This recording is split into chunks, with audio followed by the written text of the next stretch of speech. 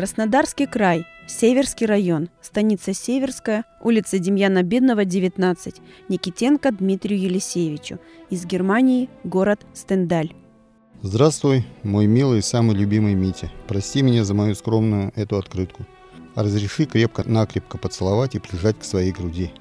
Митя, я сейчас получаю письма от всех своих родных. Также получил письмо от жены. Она почему-то находится на Донбассе. Как она туда попала, я еще не знаю. От нее получил только одно письмо и фото дочки Нелли.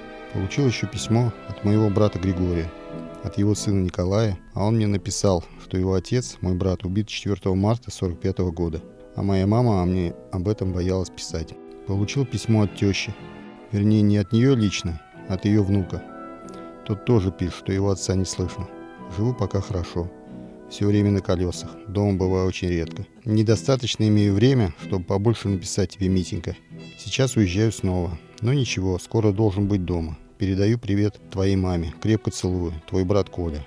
5 октября 45 года.